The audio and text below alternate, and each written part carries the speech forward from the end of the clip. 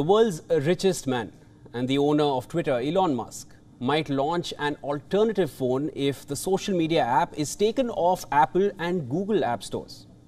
Musk made the comments while replying to a tweet that suggested the possibility of the chief making his own device. He said, quote, I certainly hope it does not come to that, but yes, if there is no other choice, I will make an alternative phone.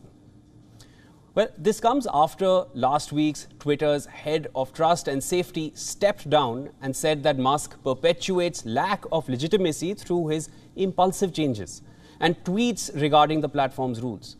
He also claimed that Twitter is now facing a close scrutiny by both Apple and Google App Stores.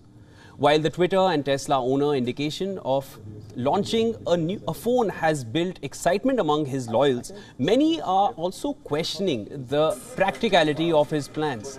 Musk has also revealed plans for what he is calling Twitter 2.0, the everything app. In the series of infographics posted, Musk said that new user signups are at an all-time high and the company is now actively recruiting.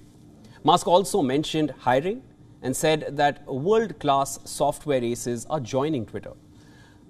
He shared the vision of his platform's future and said that the world's richest man said the next gen Twitter will focus on advertising as entertainment and video. The list does not end here.